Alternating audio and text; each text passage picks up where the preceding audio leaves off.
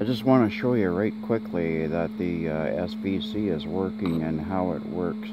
Uh, both the uh, throttle and the steering are affected by the SVC, but it's entirely controllable from, from 0 to 100% or whatever, you know what it is.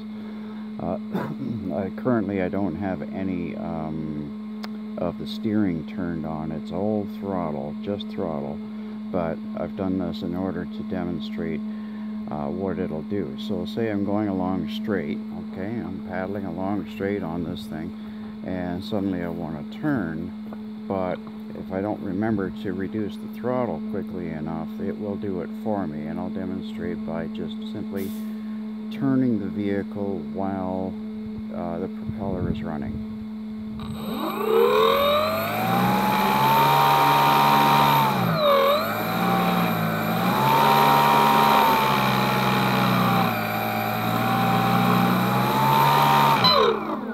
So you can imagine if I were doing a quick turn, if I entered a, a turn, uh, well, no, not quick, but a gradual turn, then the propeller would slow down. But if I were going really fast and did an aggressive turn, then this is what would happen.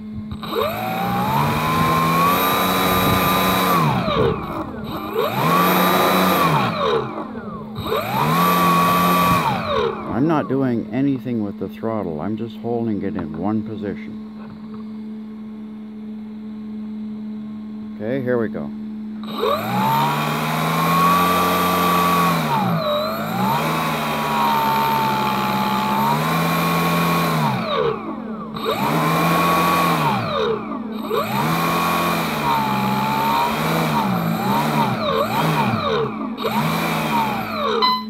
So it's kind of a weird demonstration, but you have to sort of use your imagination and, and picture the, this boat being on the water. And when I turn like this, that's when the vehicle is doing a gradual turn on the water. Well, we'll see how it works out. Wish me luck, guys. Uh, I still haven't driven it for its first actual maiden run on the water. But if you want to see this, uh, I'm, I'm thinking of doing a live stream whenever I do that. That might be possibly this weekend if things get going well enough. so if you're interested in seeing a live stream, please leave me a like click. Leave me a like click, and the more like clicks I see, the more likely I win, pardon the pun, the more likely I'll do an actual live stream when this Tri-Ski does its maiden run. Okay, thanks a lot guys. See you later.